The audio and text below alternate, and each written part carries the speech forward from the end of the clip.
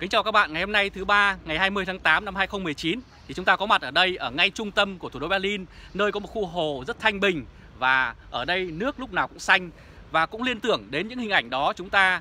đang hướng về Việt Nam, nơi mà Trường Sa, Hoàng Sa và nhiều vùng biển chủ quyền của Việt Nam đang bị Trung Quốc xâm phạm.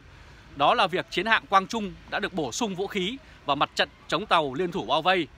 Vâng thưa các bạn, Ờ, chiến hạm Quang Trung đã đi Nga vào hôm uh, cuối tháng 7 năm 2019 để dự một cái lễ duyệt binh tại Nga. Và đây là hình ảnh chúng tôi có thể chia sẻ với các bạn và các bạn cũng có thể tham khảo trên những trang báo ở trong nước. Và đây là hình ảnh của chiến hạm Quang Trung uh, uh, tiến vào uh, quân cảng Vladimir, Vladimir Vostok của Nga vào sáng ngày 25 tháng 7 năm 2019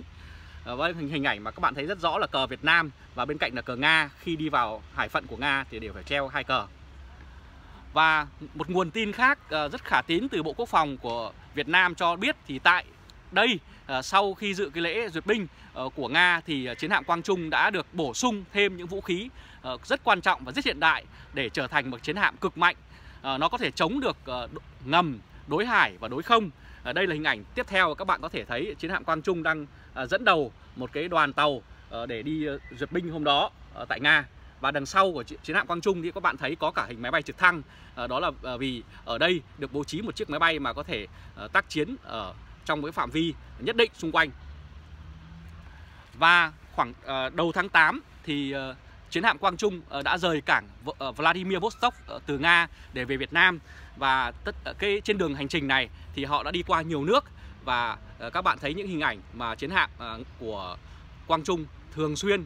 có những hoạt động theo những hải trình rất dài à, vì đây là chiến hạm rất đặc biệt và rất hiện đại của Hải quân Việt Nam. À, và hiện nay nó được trang bị thêm những vũ khí sau khi à, từ Nga trở về. Và tất nhiên vừa tới con cảng Cam Ranh thì lập tức à, với tình hình căng thẳng à, tại diễn biến tại bãi bãi à, bãi tư chính với với việc mà tàu Hải Dương 8 cùng nhiều tàu khác của Trung Quốc được hộ tống vào để thăm dò trên cái thềm lục địa của Việt Nam à, và trải qua gần một tháng quần đảo uh, xung quanh khu vực này và tàu cảnh sát biển Việt Nam cũng đã ra để yêu cầu Trung Quốc rút đi cũng như nhiều công hàm phản đối của Việt Nam đã được gửi ra uh, đối uh, gửi tới Trung Quốc. Nhưng phía Trung Quốc đã lờ đi và không hề tôn trọng uh, những cái biện pháp ngoại giao này của Việt Nam và họ vẫn tiếp tục đưa tàu quay trở lại bãi tư chính. Và chính vì vậy vào ngày 15 tháng 8 uh, thì các bạn thấy hình ảnh là tàu chiến Việt Nam Grepat 016 Quang Trung đã được lệnh rời quân cảng Cam Ranh lao ra để ngăn cản tàu Trung Quốc ở khu vực bãi tư chính. Bởi vì các bạn cũng đã biết ngày 13 tháng 8 à, thì chiếc tàu Hải Dương 8 lại quay trở lại vùng biển của Việt Nam. À, chính vì vậy mà sau đó hai ngày thì Việt Nam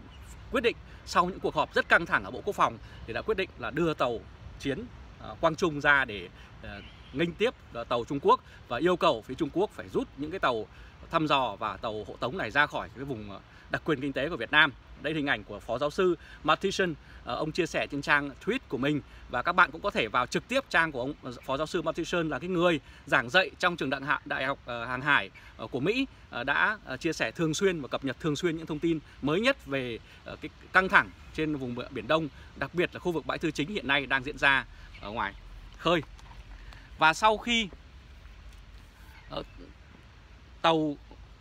Quang Trung đi, đi ra thì các bạn thấy những cái hải trình của nó đã cắt ngang, cắt ngay mũi của tàu Hải Dương 8. Ờ, cũng theo như ông phó giáo sư ờ, uh, Mathison này chia sẻ thì uh, những cái lộ trình này của tàu chiến Quang Trung đã tiếp cận khu vực bãi tư chính và lao thẳng vào vào tàu Hải Dương 8 của Trung Quốc để càn phá hành động thăm dò trên vùng đặc quyền kinh tế của Việt Nam. À, đây là những cái chấm màu đỏ này thì các bạn có thể thấy rất rõ. Đấy là cái, những cái chỗ mà hai tàu đã va chạm với nhau rất mạnh và có thể đếm đến khoảng 10 cái chấm như vậy ở trong cái tweet mà ông ta chia sẻ. Và để minh họa rõ hơn nữa và đánh dấu rõ về chiếc tàu uh, chiến uh, Quang Trung của Việt Nam thì ông uh, Phó giáo sư Matheson cũng chia sẻ hình ảnh này và các bạn có thể tham khảo rất kỹ và hình rất rõ là chiến hạm Quang Trung ở phía trên. Còn bên phải thì các bạn thấy là tàu Trường Sa 401012 uh, của Việt Nam và ngoài ra thì có một số tàu của Trung Quốc cũng như tàu của Việt Nam đã tắt tín hiệu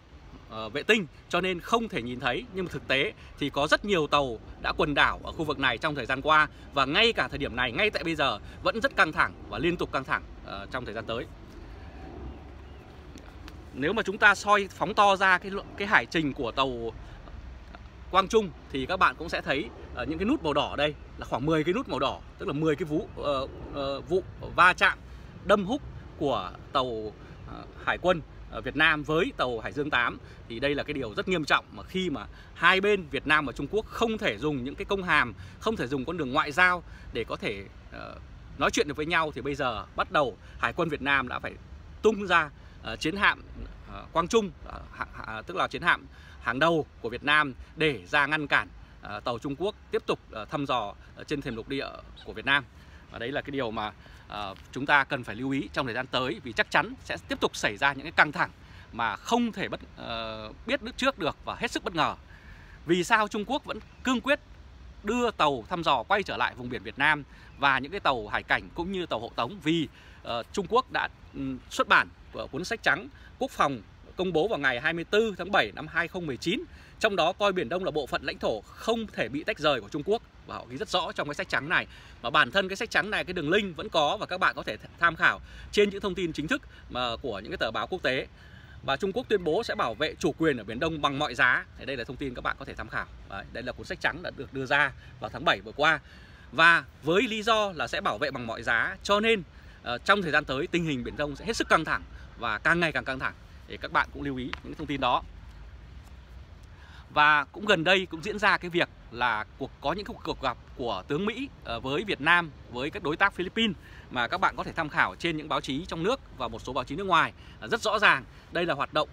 của chiều ngày 18 tháng 8 đại tướng David Cotten, tham mưu trưởng không quân Mỹ và đại tướng Charles Blount tư lệnh không quân Mỹ tại khu vực Thái Bình Dương, có cuộc gặp gỡ báo chí để nói về chuyến thăm Việt Nam. Và đây là lần đầu tiên một lúc hai đại tướng của Mỹ xuất hiện và họp báo ngay giữa thủ đô Hà Nội thì đây là điều rất đặc biệt. Mặc dù uh, ông có nói rằng chuyến đi này được chuẩn bị trước từ một năm nhưng mà cái lịch và cái chuyến đi và cái sự xuất hiện của hai đại tướng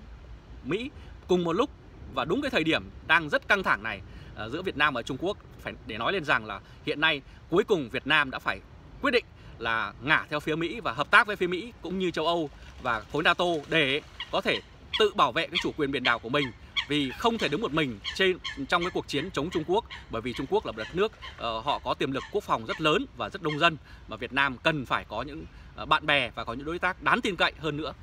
Và cụ thể đó là Mỹ. Và cũng uh, trong cuộc gặp ừ, ngày hôm 19 thì cũng đã thông Philippines cũng đã thông báo uh, có cuộc gặp là của lực lượng hải quân Mỹ tại Manila uh, từ ngày 15 đến 18 tháng 8 năm 2019 và một tờ báo của gọi là Inquirer Ờ, net đã đăng tải cái thông tin này đến hình ảnh do Đại sứ quán Mỹ tại Manila, tức là Philippines cung cấp và chính vào năm 2016 thì Philippines đã chiến thắng trong cái vụ kiện ờ, đường lưỡi bò của Trung Quốc. Thì đây là một cái điều mà bài báo này cũng nhắc lại một lần nữa. Vậy chúng ta thấy rằng ờ, Mỹ không những đến Việt Nam mà đến Philippines và đến nhiều nước khác để vận động các nước này tham gia vào một cái liên minh vào một cái hệ ờ, để cùng nhau phản đối Trung Quốc khi mà Trung Quốc cố tình vi phạm chủ quyền của Việt Nam và Philippines và nhiều nước khác. Ngoài ra thì họ cũng phản đối việc ờ, Trung Quốc dùng vũ lực và đe dọa dùng vũ lực đối với các tàu ờ, của Việt Nam, đối với cư dân Việt Nam và điều này là không thể chấp nhận được và đi trái với cả các công ước quốc tế. Bên cạnh đó thì các bạn cũng chứng kiến việc ờ, Ấn Độ đã cho Việt Nam vay tiền đóng 10 tàu tuần tra trong thời gian tới. Và đây là hình ảnh mà các bạn có thể thấy là chiếc tàu tuần tra được báo chí Việt Nam cũng như một số tờ báo khác đăng tin là Ấn Độ đã khởi đóng 12 tàu tuần tra cao tốc cho Việt Nam.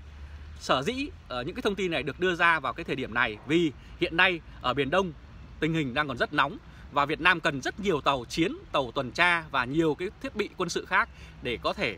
cùng với một số nước ờ, khác như Mỹ và các liên minh khác để bảo vệ cái chủ quyền biển đảo ở của Việt Nam và đồng thời duy trì cái tự do hàng hải, ờ, tự do hàng không ở Việt ờ, của cái vùng biển mà Việt Nam có vùng đặc quyền kinh tế tế nơi Trung Quốc đang tìm mọi cách để thao túng và thôn tính.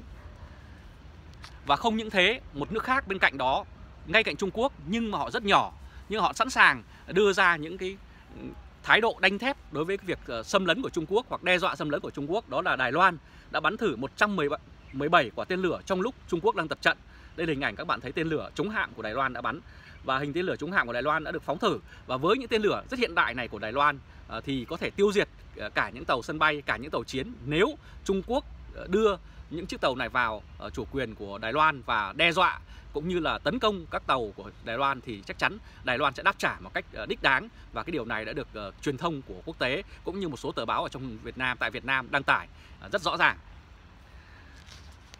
Và phải nói rằng nếu mà chúng ta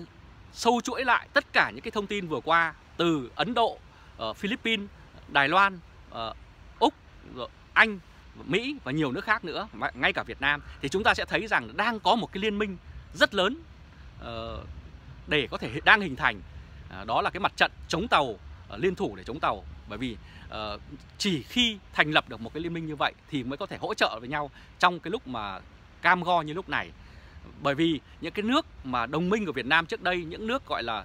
cùng ừ, hệ thống xã hội chủ nghĩa của Việt Nam đang còn lại như ở Cuba, như Lào, Bắc Triều Tiên thì họ không hề lên tiếng và họ hoàn toàn im lặng. Ờ, trước cái việc ờ, Trung Quốc đe dọa chủ quyền của Việt Nam. Mặc dù Việt Nam luôn luôn ủng hộ họ trong mọi hoàn cảnh, mặc dù lúc họ khó khăn nhất Việt Nam vẫn viện trợ cho họ, nhưng một bức thư và một công hàm nhỏ họ cũng không thể gửi lên phía Trung Quốc, họ cũng không lên tiếng trên truyền thông quốc tế để bênh vực Việt Nam mà bây giờ chỉ còn có Mỹ, uh, châu Âu và Anh, Pháp và Úc